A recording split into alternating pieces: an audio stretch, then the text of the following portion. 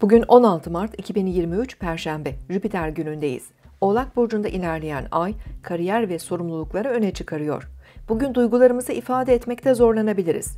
Gün genelinde Balık burcunda birleşen Güneş, Neptün ve Merkür, İkizler burcundaki Mars'la dik açı yapacak. Değişken burçlardaki sert etkileşim günlük işlerde de kararsızlıklar ve belirsizlikler yaratabilir.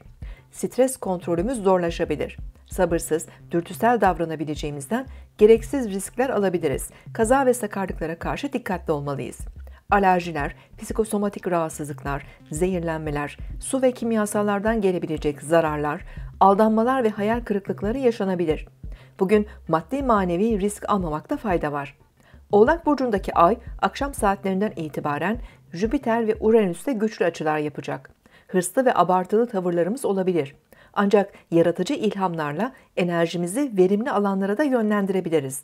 Ruhsal ve sanatsal faaliyetlere zaman ayırmaya çalışalım. Siz de şimdi kanalımıza abone olun, yorumlar bölümüne sorularınızı yazın, sürprizlerimizden haberdar olun.